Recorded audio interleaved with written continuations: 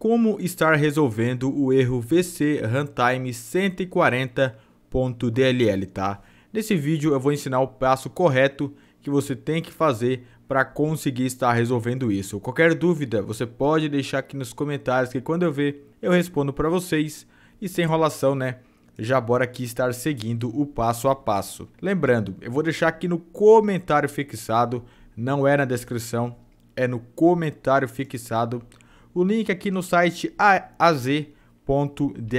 É um site que eu utilizo há muito tempo para estar baixando DLL para o meu computador, tá? E obviamente que a do vídeo vai ser do VC Runtime 140.dll. Então não tem segredo, é só você vir aqui é, no comentário fixado e baixar a versão mais atualizada, que normalmente é a que vai estar logo aqui em cima. É, você pode perceber que aqui na plataforma fala 64 bits, ou seja, isso aqui é para computador que tem um sistema operacional que roda em 64 bits. Se o seu for 32, logo aqui abaixo, ó, ele também vai ter disponível para você.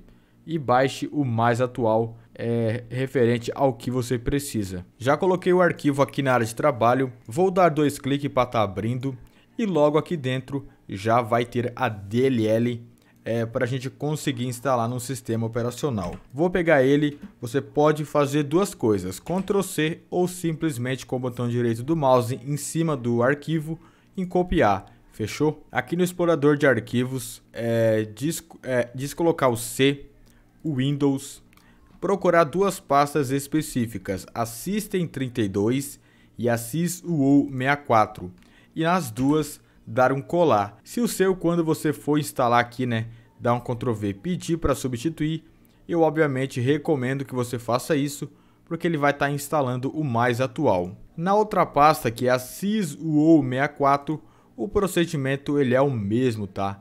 Clicar aqui para substituir o arquivo no destino, ou talvez já vai ser instalado direto. E pronto, rapaziada, basicamente você fazendo isso, reiniciando agora o seu computador, você vai conseguir instalar a DLL do VC Runtime aí no seu sistema operacional e está resolvendo qualquer erro relacionado a isso.